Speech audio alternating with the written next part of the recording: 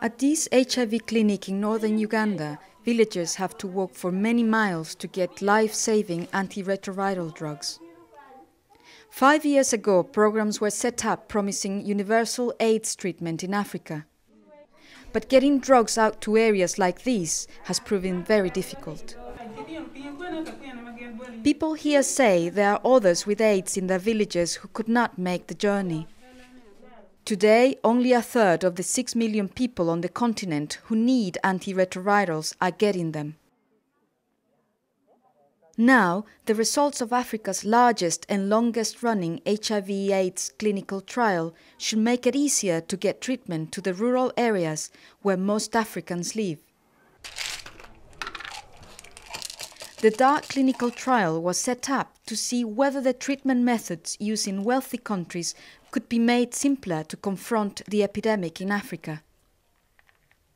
It had almost 3,500 participants and was run by scientists in London, Zimbabwe, and Uganda under the coordination of the UK Medical Research Council. In wealthy countries, patients are not only given antiretroviral drugs, which they will have to take every day for life to prevent AIDS from developing.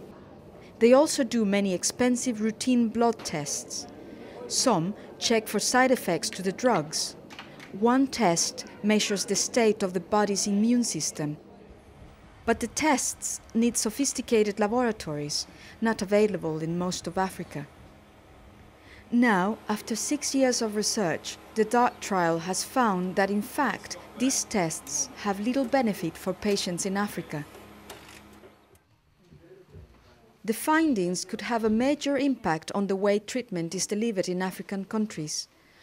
Doctors involved in the study say it is safe for trained and supervised health workers to provide and monitor treatment at village clinics, rather than making patients travel to centers with laboratories. This will make it much easier for villagers to access treatment. The findings will also allow many more people to be treated with the same amount of money.